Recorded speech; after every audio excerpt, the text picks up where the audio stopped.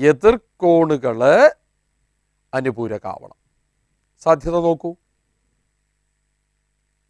എതിർക്കോണുകൾ A എന്ന angle eighty degree C എന്ന angle hundred degree eighty plus hundred one eighty അനുപൂരകം definite ചക്രീയ ചതുർഭുജമാണ്.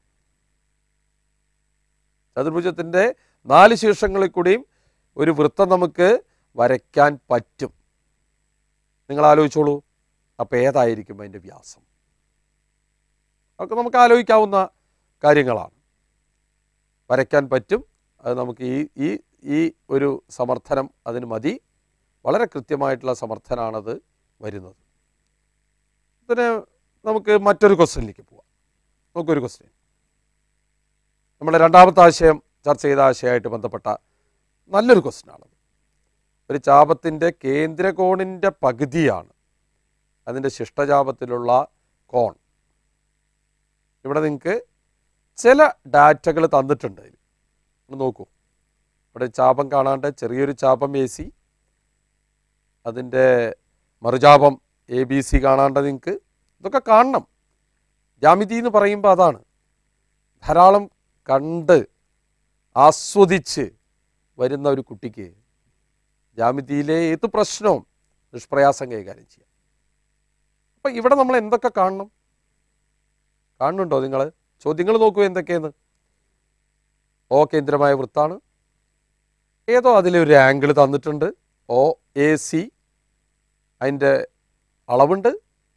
മറ്റൊരു angle തന്നിട്ടുണ്ട്. O C B.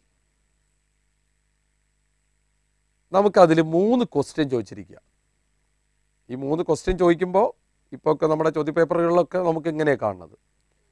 ധൈര്യമായിട്ട് നമുക്ക് ഒന്നാം ചോദ്യത്തിലൂടെ പോയാൽ രണ്ടാം ചോദ്യത്തിലേക്ക് എത്താനും രണ്ടാം ചോദ്യത്തിലൂടെ പോയാൽ മൂന്നാം ചോദ്യത്തിലേക്ക് എത്താനും നമുക്ക് കഴിയും. ഇവിടെ ഒന്നാമത്തെ ചോദ്യത്തിൽ ഒ സി എന്നുള്ള ആംഗിളാണ് കാണാൻ പറഞ്ഞിട്ടുള്ളത്.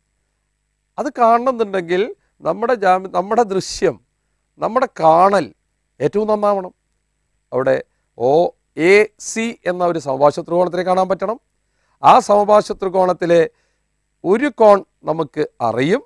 തുല്യമായ മറ്റേ കോണാണ് നമ്മളോട് കാണാൻ പറഞ്ഞിട്ടുള്ളത്. തുല്യമായ മറ്റേ കോണ് കാണുന്നോട് കൂടിയിട്ട് ആ ത്രികോണത്തിലെ മുഴുവൻ കോണുകളും നമുക്ക് എത്രയെന്ന് അറിയാൻ കഴിയും? ഒരർത്ഥത്തിൽ പറഞ്ഞാൽ അതിന്റെ കേന്ദ്രകോൺ ഏത് ചോട്ടിലുള്ള ചാപത്തിന്റെ എ സി എന്നുള്ള ചാപത്തിന്റെ കേന്ദ്രകോൺ നമ്മൾ എത്രയെന്ന് അറിയണു? കേന്ദ്രകോൺ എത്രയെന്ന് അറിഞ്ഞു കഴിഞ്ഞാൽ ആ ചാപം മറുചാപത്തിലുണ്ടാക്കിയ കോൺ എത്രയെന്ന് അറിയാൻ കഴിയണു അങ്ങനെയാണ് നമ്മുടെ ചോദ്യങ്ങൾ ചോദ്യം ഇങ്ങനെ പോയിട്ടുണ്ടാവുക. അങ്ങനെ വന്നു കഴിഞ്ഞാൽ നമുക്ക് ആ ത്രികോണത്തിന്റെ മൂന്ന് കോണുകളും എത്രയെന്ന് പറയാൻ കഴിയും? ഈ രീതിയിൽ നമുക്ക് ഒരു പ്രോബ്ലത്തിനെ സമീപിക്കാൻ കഴിയണം. ഇപ്പോൾ വളരെ കൃത്യമായിട്ട് നമുക്ക് എന്താ മനസ്സിലാക്കാൻ കഴിഞ്ഞത്? ആദ്യം നമ്മൾ കണ്ട ആ ജാമിതിയിലെ ദൃശ്യങ്ങൾ. ആ ദൃശ്യങ്ങൾ കാണാനുള്ള അവസരങ്ങൾ ഇന്ന് നമുക്ക് ധാരാളം ഉണ്ട്. നിങ്ങളുടെ എല്ലാ വിദ്യാലയങ്ങളിൽ പോലെ തന്നെ പറയാം. നമ്മുടെ അധ്യാപകർ ജിയോ ജി ബ്രേക്ക് ഉപയോഗിച്ചിട്ട് നിങ്ങൾക്ക് ഇത്തരം ചിത്രങ്ങൾ കാണിച്ചു തന്നിട്ടുണ്ടാവും. ആ ചിത്രങ്ങൾ പണ്ട് ഹനുമാന്റെ നെഞ്ചിൽ ശ്രീരാമൻ ഇരുന്ന പോലെ ആ ചിത്രങ്ങൾ നമ്മുടെ നെഞ്ചിലിരിക്കുന്നുണ്ടെങ്കിൽ ഈ പ്രോബ്ലങ്ങളെല്ലാം നമുക്ക് വളരെ സുഗമമായിട്ട് ചെയ്യാവുന്ന പ്രോബ്ലംസാണ്.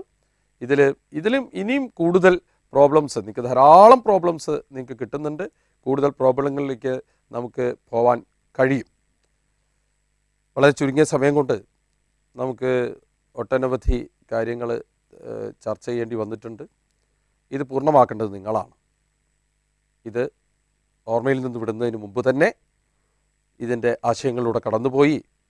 ഇത്തരം പ്രശ്നങ്ങളെ ആയിട്ട് മല്ലിട്ടുകൊണ്ട് നമുക്ക് ഈ ആശയങ്ങൾ കൂടുതൽ ഉറയ്ക്കുന്നതിലേക്ക് നിങ്ങളെല്ലാവരും പോകുമെന്ന വിശ്വാസം എനിക്കുണ്ട്. എല്ലാവർക്കും വിജയാശംസകൾ.